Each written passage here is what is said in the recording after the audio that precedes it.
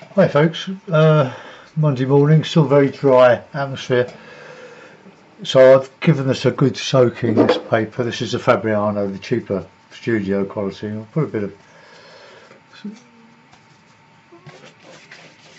raw sienna, as usual. Just unifies the picture and gives a, a nice colour or very light cloud colour when it dries behind what we do for the clouds. It's very faint, so if it doesn't show it, uh, that's why. I might put a bit, bit of, yeah, let's put a bit of light red in there. Why not?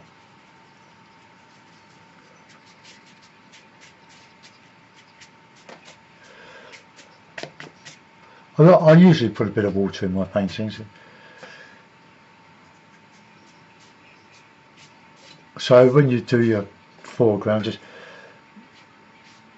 just add the colour that you're putting in the sky. That's coming up quite strong. Right, okay. Bit of blue.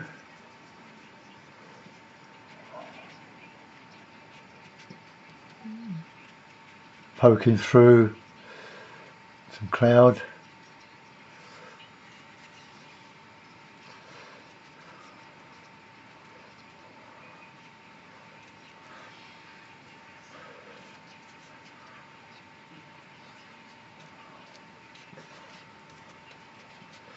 Okay, now we'll add a bit of light red to that.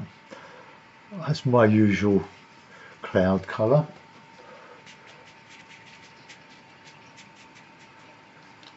Don't be too stingy with the paint.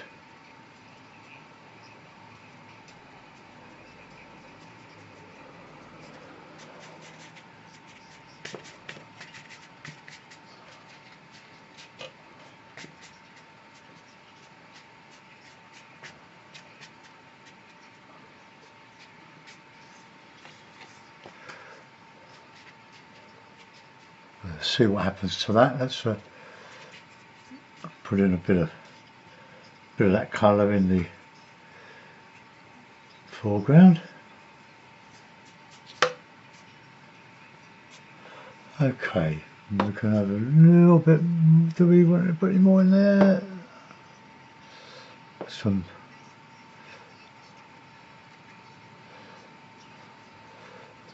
Interesting to see how this turns out. Okay, we'll reclip the paper.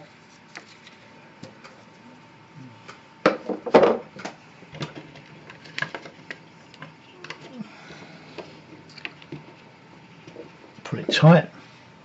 So just, just uh, the board's about 25 degrees. Just take off the bottom, where it pulls at the bottom of your page, just take that off. Then it won't sort of cauliflower back. Oh, oh dear.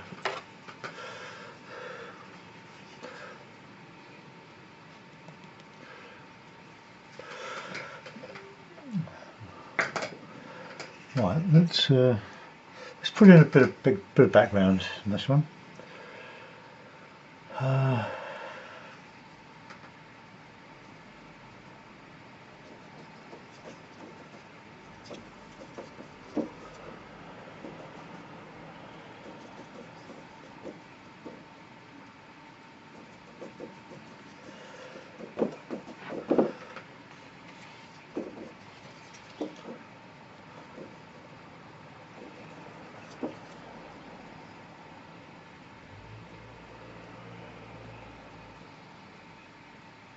There's a bit of background sort of landscape in the background.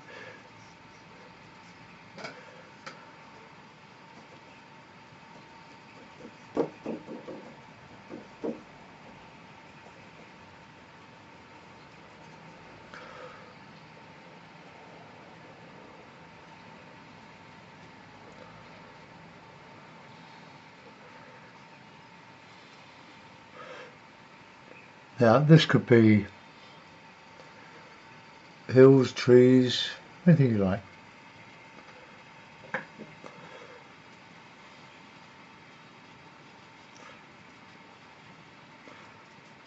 Now I have a tendency to go uphill as I go from left to right.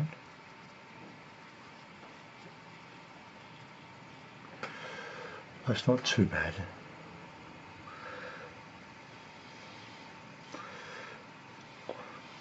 So we'll uh, put a little bit on the top here.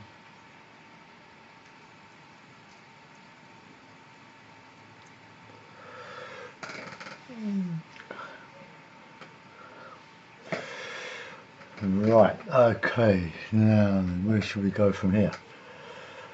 Uh,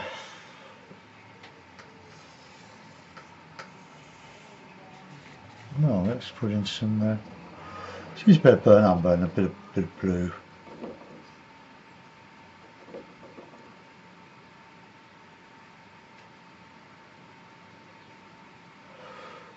This is much thicker pigment here.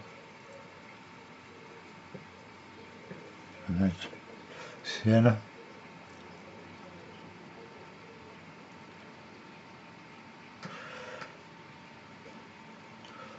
I know I've done this so many times before, but but all the the paintings end up differently. I mean, there's only so many views that you can recycle.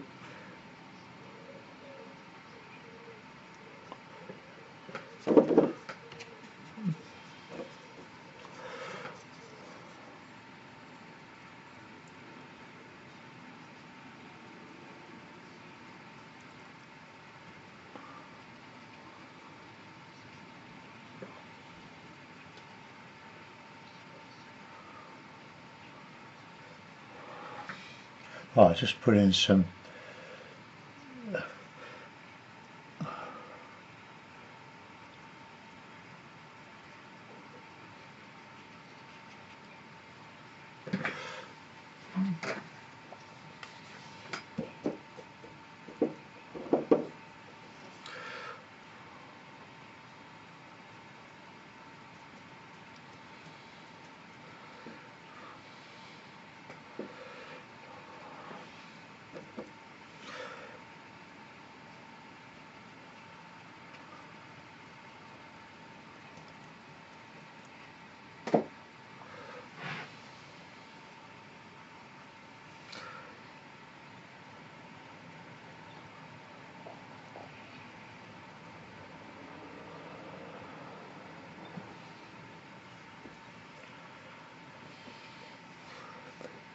burnt sienna. I think I prefer burnt sienna to the umber.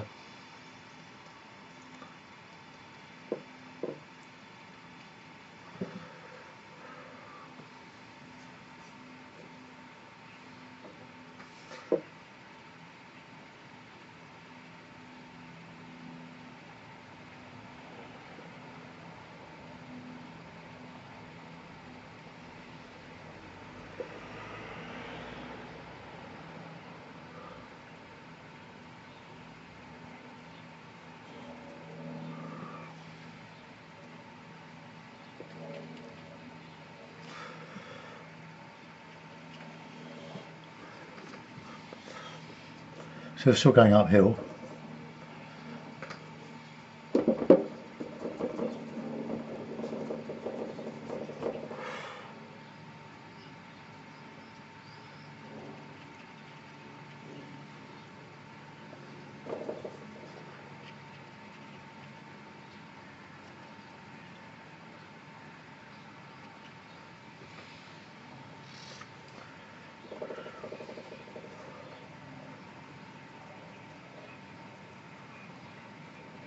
Try to give a sort of a, a rippled reflection. Still going uphill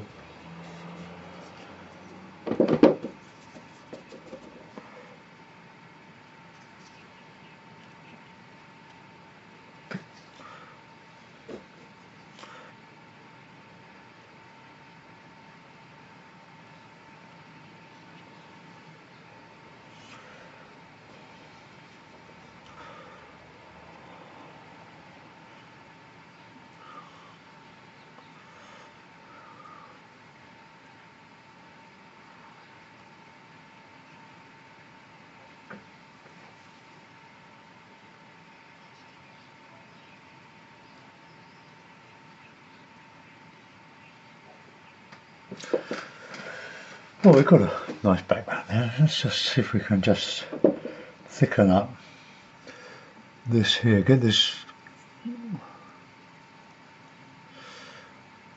coming down further so that it's, it's horizontal rather than going up on the right.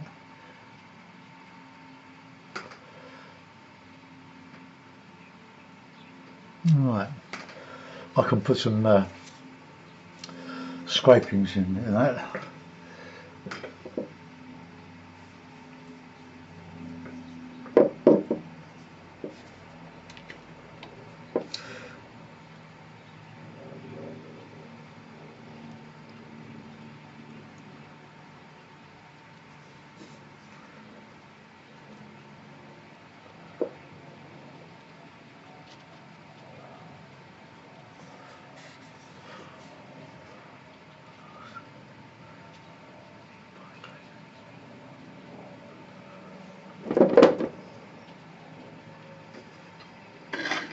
Trying to create a side impression of sort of salt marsh which I love painting. The, the I, am very impressed with the River Colne uh, near Wivenhoe where my brother-in-law lives. It's so beautiful when the tide's out you've got the grasses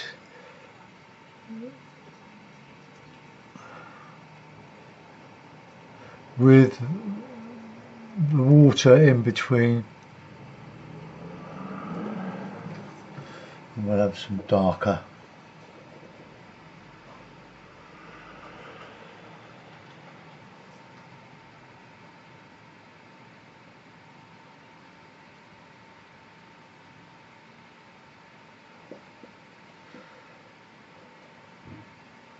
So a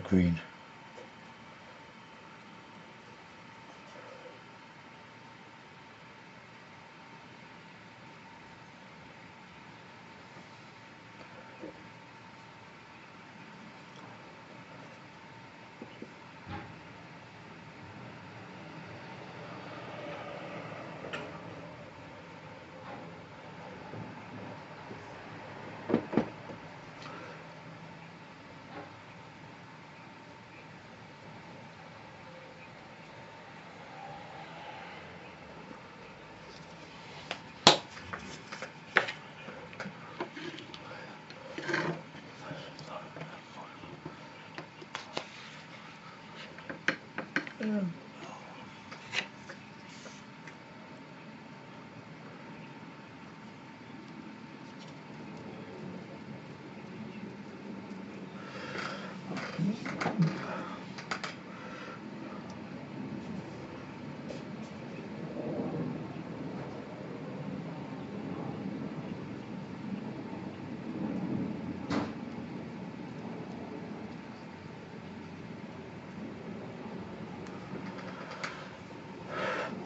green.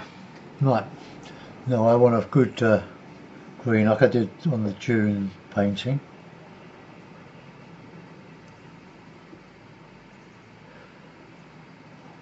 Uh, I like that actually.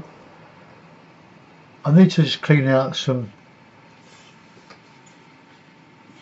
some uh, clear water. I don't know. I don't know. I think I've probably gone too too high with that. That one, let's just let's just muck about with it.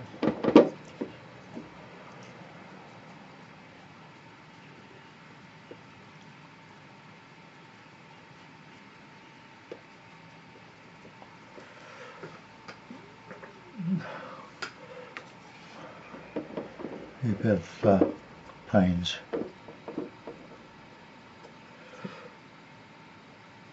I'm on the verge of scrapping this because I've gone I've gone too too far down with the reflections there. So we just have sort of flooded area. And darks in there.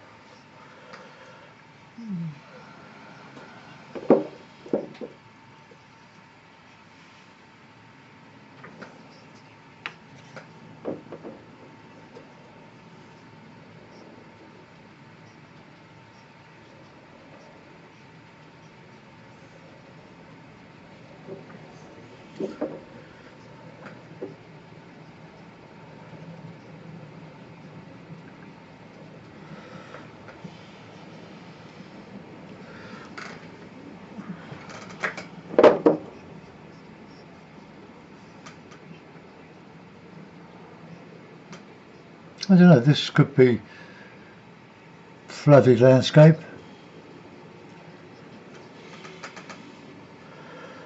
Alright, well let's, let's see what we can do with a card.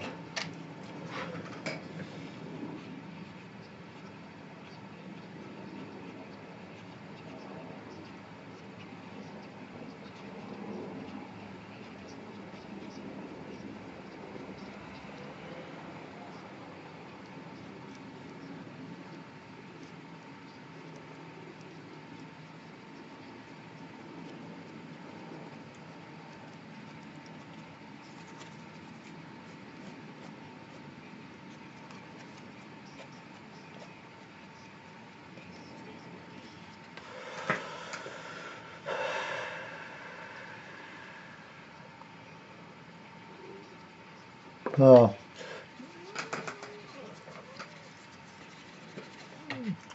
I point out so many times that I start with very little in my head, quite normal. And as I go along, the painting develops. It either goes well or it doesn't.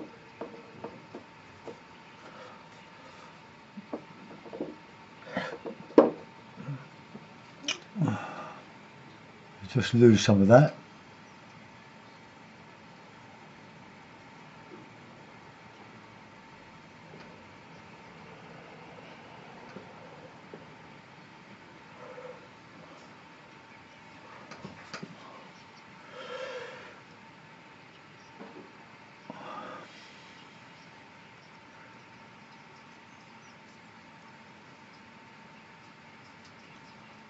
Put some refreshing in there now.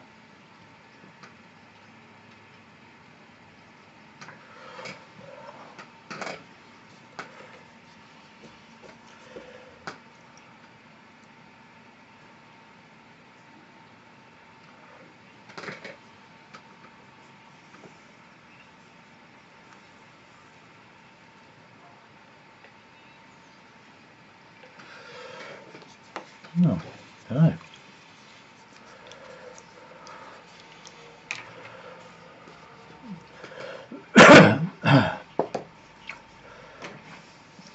Gives sort of an impression of a flood, doesn't it? Let's uh, just uh, put a put an old mount on it. I think the sky is quite interesting.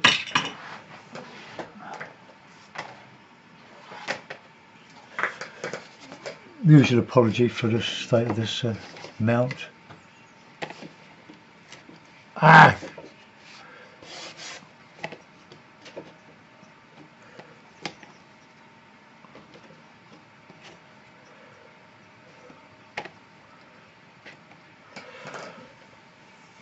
We've created something. What I'll do is to just dry it off. Well, I find my head. Oh, and add a bit of detail with this uh, Caran d'Ache crayon. Oh, Smoothie 77 sent me that a couple of years ago, along with some some homemade watercolours, which are very good.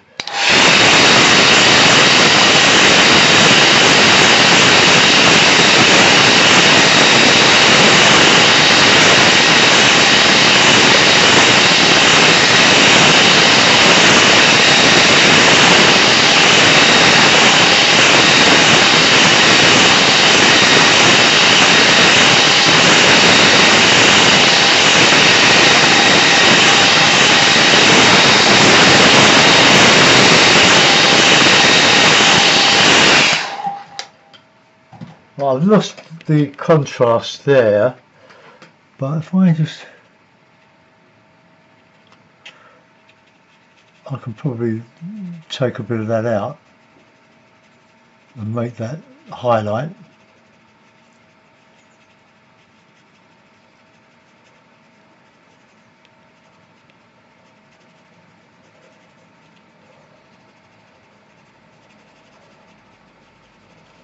cheatiness really but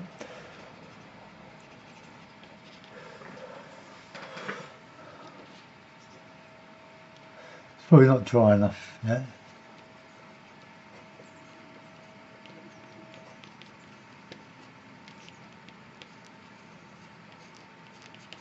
just some chunks on the dark bits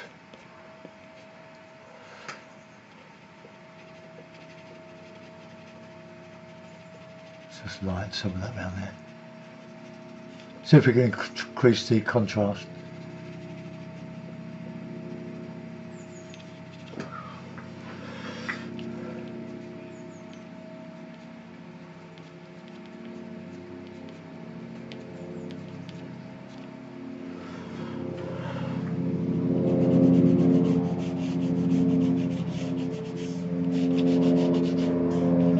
I'm not recommending this, I'm just using it as a bit of a crutch for myself.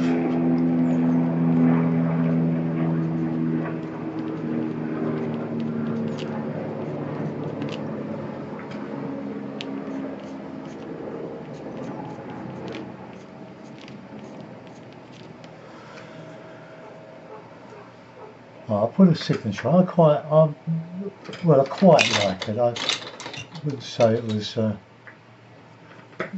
my uh, best, but uh,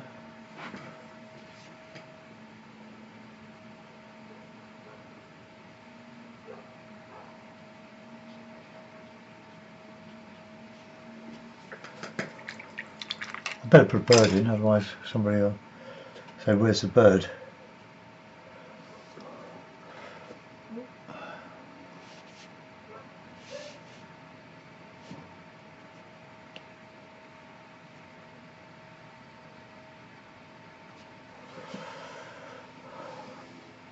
Okay, uh, so what have we got here? Um, the sky, the sky's gone quite well. It's it's complicated in that there's a, quite a bit going on in it, and I was making use of the angle of the paper, which is quite shallow, not as shallow as I'd like, but I, am sort of trialing this. But the paper, it's the, the Fabriano 130 pound studio paper which is very good for wet in wet, but it's got to be the paper's got to be the right wetness before you start. I've given that quite a lot of soaking and let it soak in a little bit because it is very dry, so that it would wouldn't go into cauliflowers when I worked it. Well, you can see there are no cauliflowers there, so that's worked to that extent. So we'll describe this as being a tutorial in wet in wet on a on a hot day. right, okay. Thanks for thanks for watching, guys. I've just uh, I can just.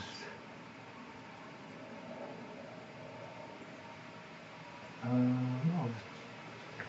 I want you to see the.